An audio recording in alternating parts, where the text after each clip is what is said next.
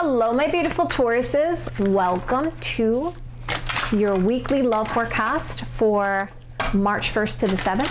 Thank you guys so much for liking, sharing, and subscribing, and thank you to all my members for all of your support. If you would like to become a member, all you have to do is click the join button below. And if you'd like a personal reading with me or you'd like to get my new card deck, it's at jenniferwalkerzen.com or check out the description box below this video. Please remember these are general messages. And so you can check your moon, your rising, or your sun sign for more information. Your sun sign represents your soul, your moon sign represents your emotions, and your rising sign represents your physical you. All three of these make up who you are, so feel free to cross watch for more information. Also, so we're going to do the day to day and then the overall. If you guys like it this way, hit that like button. Let me know in the comments below. All right, so let's jump right in here. So let's go to my Taurus's romantic love life for March 1st 7th. What's going on my Taurus's romantic love life from March 1st to 7th? What's going on my Taurus's romantic love life from March 1st to 7th? Show me the cards I need to see. Show me the cards I need to see. What's going on my Taurus's romantic love life from March 1st to 7th? What's going on my Taurus's romantic love life from March 1st to 7th? Show me the cards I need to see. Show me the cards I need to see. What's going on my Taurus's romantic love life from March 1st to 7th? Taurus's romantic love life from March 1st to the 7th. Show me the cards I need to see. Show me the cards I need to see. Okay, so we got March 1st, March 2nd, March 3rd, March 4th, March 5th, March 6th, and March 7th. Guys, feel free to come back, check this out at the end of the week, and let me know how, how it played out in your individual situations in the comments below. This is what's going to influence this cause this week. This is how your love interest, now it doesn't have to be the love interest that you're with, it could just be the person that you're here for, how they feel about you. This is your advice, and please remember that this is this is this is this is your advice but it's only here as guidance you don't have to take it if you don't want to you have free will okay and this is the overall outcome now sometimes i do get the titles from the overall outcome. So guys as you can see it's a pretty extensive reading. We're going to layer more cards on top of this so stick with me till the end. Let's jump right in.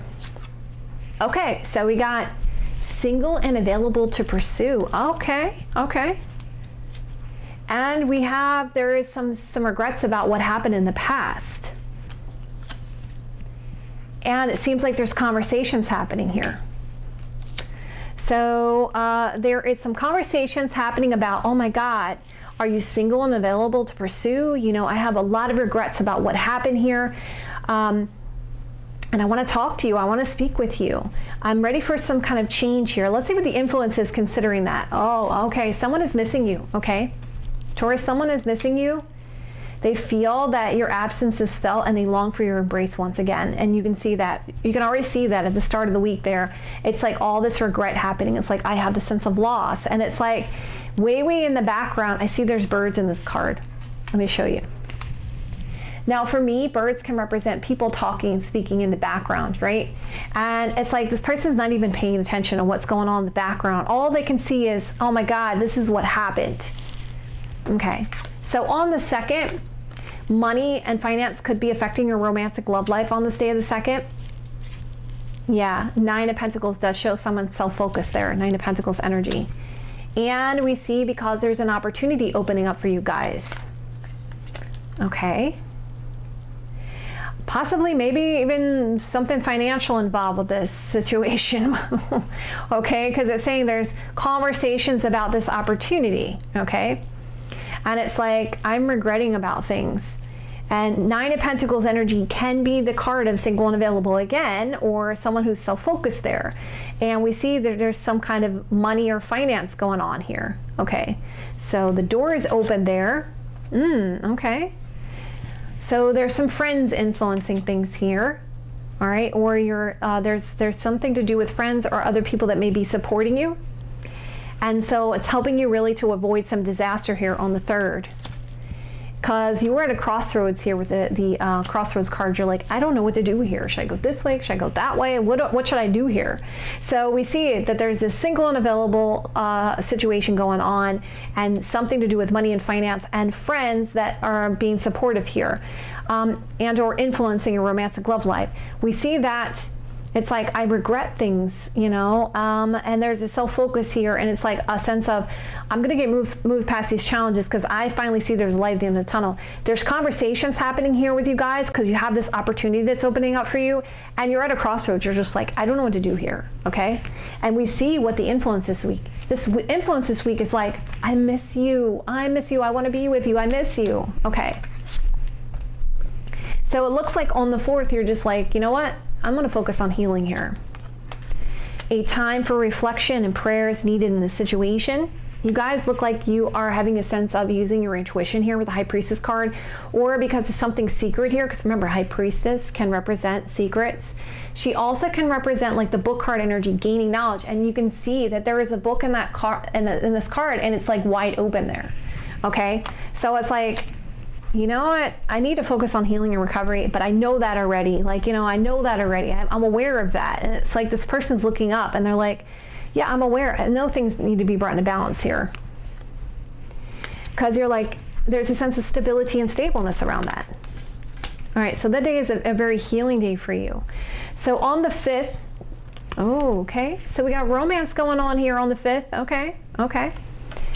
Your feelings are real and worth exploring. And it's because of somebody who had walked away physically or mentally, of Cups energy. And they're trying to gain control around this with the Bear card energy. They're trying to gain that strength, that courage, and confidence here because it's like, you know what? I walked away from a situation because what do I have up here? Regret. And then what's the regret about? Walking away and the single and available and romantic feelings and conversations about strength or control or nurturing energy here.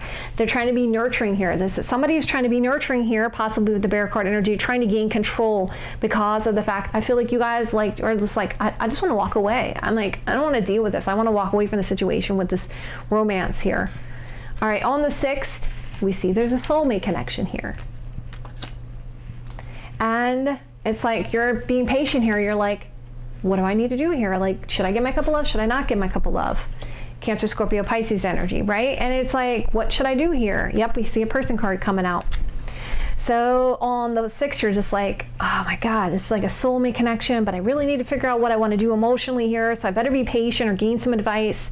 There's some romance here. I feel like there's some feelings and this is soulmate connection, but on the same token, I don't know if I want to deal with my emotions right now and I need to figure things out. And I need some kind of control when it comes to this person. Mm, oh my God. And then we got the love card coming out. And this is like the Ten of Cups energy. Oh my God, you guys are completely happy here on the 7th. wow, King of Cups is coming out. Cancer, Scorpio, Pisces energy. I am making a wise choice when it comes to love and romance based on my past experiences. And you know what? I'm a little nervous about it here with the Mice card energy. Okay, okay.